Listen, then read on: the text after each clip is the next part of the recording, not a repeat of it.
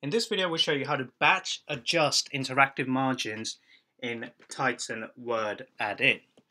What does this mean? Okay, so let's say we've got Word document here. In here, we've got a table. This is not a Titan table. This is just a standard Word table. And in there, I have one, two, three, four, five, ten fields, and all 10 of these are interactive. Now, once you publish this, this is what it's going to look like. So let me just go ahead and pass some parameters in here and then I'll click submit. It's going to go ahead and generate the document. Alright, but notice how messy all of this looks. Look, it's everywhere, like it just looks horrible. Everything's towards the right, that should be, it's over there, that's over there, and it looks messy and ridiculous and it's gonna not going to be a good experience.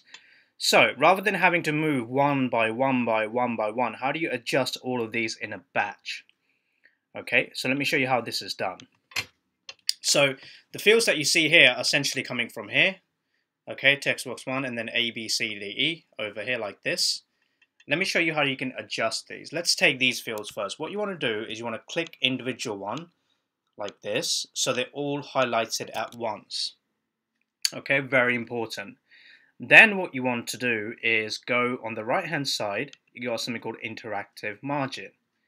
And for this one, what I want to do is I want to set this to minus 50. This could completely depend on your document, but for me, I think these are the correct measurements. So minus 50, minus 115, and I'm going to set a certain width, which is 196.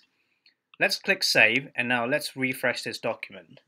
And then let's see the, the modifications that we've made where these fields have ended up.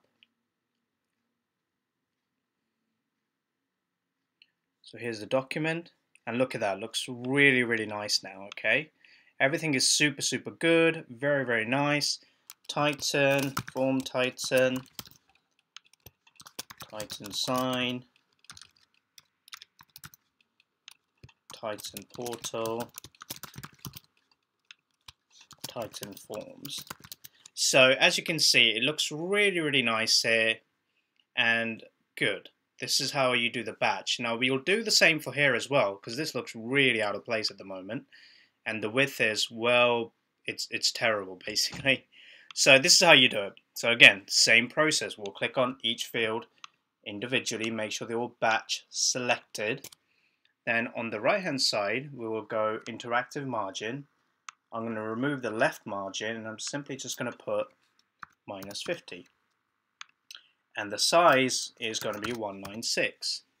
Now let's click save and let's show you how that change that will save you hours and hours can do if you can do it properly doing the batch uh, interactive. So again, we've done it.